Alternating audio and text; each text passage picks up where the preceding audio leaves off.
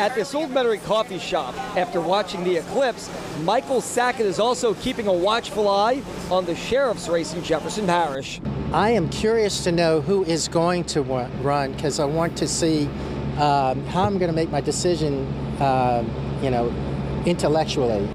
Current Sheriff Newell Normand's last day is August 31st. His chief deputy, Joe Lopinto, is taking over as acting sheriff and will seek the job on a full-time basis with Normand's backing. Well, the fact that he was appointed an interim, it does give him to some degree an advantage. Now it's up to him to convince voters, okay, uh, take me from interim to a permanent uh, sheriff and uh, can be an advantage. But political pollster Dr. Silas Lee says Lopinto's victory is far from certain.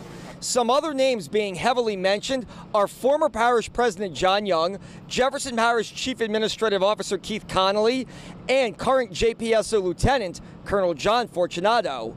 Sources close to JPSO also say other high ranking officers are considering running for the position. They see it as an open seat, and the fact that the more people who qualify, they want to see, okay, where we have pockets of support to stop anyone from winning outright in the primary, force it to a runoff.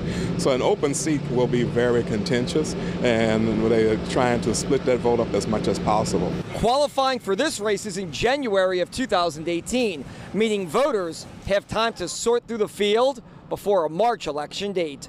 It's, it's important for me because uh, there's so much crime to make sure they have good backgrounds in, in crime and uh, in enforcement.